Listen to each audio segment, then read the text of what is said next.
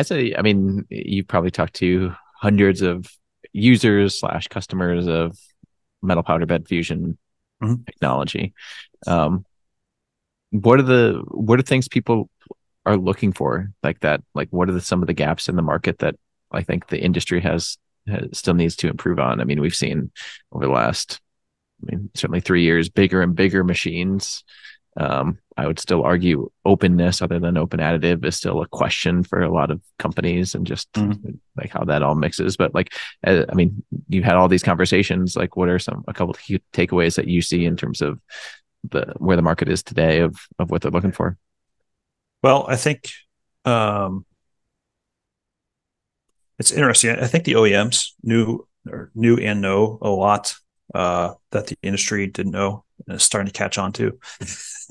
so, uh, but um, so there's there's little things like like you know how you do the gas flow setup or how you do your thermal management to make sure your optics aren't shifting or your parts not shifting. Uh, that have always been problems for a lot of different OEMs, right? And you you hear about that. Some OEMs, I'm not going to name names, but like some OEMs have horrible gas flow reputations. Some don't even the ones that don't typically have problem areas. So like how to do that right, how to bring the air straight across, not cause eddies and stuff that that that result in uh you know problems in parts if you build them in that area. Uh, I feel like uh, I feel like the industry. I, don't know if it's because it's like a cost of entry thing. But I feel like industry is quite a bit ahead of academia uh, on those areas, whereas in some other fields it's completely the opposite. Like I think in additive, if that's true.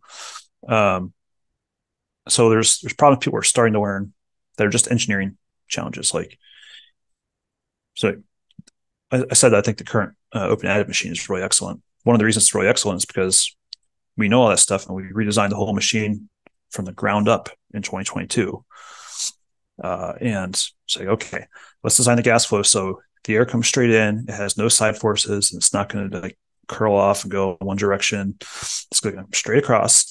and we're going to put its flow conditioners in the path that we can change in case it's wrong. We can, you know, we can adjust it and make it just right.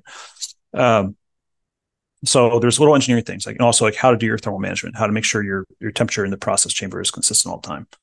Uh, those are not something everybody's always thought about.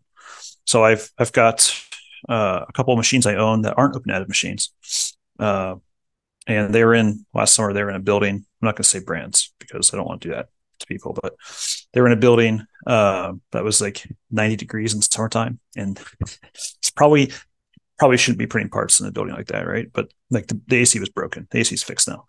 But uh, one machine had really good thermal management, the other didn't. And so during the daytime, one machine would experience a lot of thermal shifts and the would. So we print tensile bars, and, and one machine they were wavy, and the other machine they were nice and straight. So there's, there's a lot of so a lot of it's just little engineering stuff that that not everybody's always done. Um, but then there's uh, uh, sensing has always been a challenge. I feel like in situ sensing, most of the market has been just copycat. You know, at some point someone decided to put a photodiode in the laser beam line and then everybody else did it. And then nobody knows if it's useful why it's useful or if they should do it but they still offer it. Uh, that might be harsh. I don't know but i think that's generally true. So, uh, you can see a few new things coming out now but but typically not very many.